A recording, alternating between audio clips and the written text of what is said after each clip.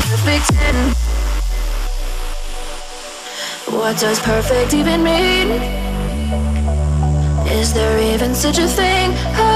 Ooh, can we switch up all the rules and imagine a utopia? Darling, I'm just so fed up with these expectations. They weigh me down. My heart is begging me to get the hell out of my head. I wanna live inside the upside down Honey, I'm a perfect ten, whoa, whoa. Honey, I'm a perfect ten, whoa, whoa. And if I say it enough, it gets ingrained in my head And I start to see. Honey, I'm a perfect ten.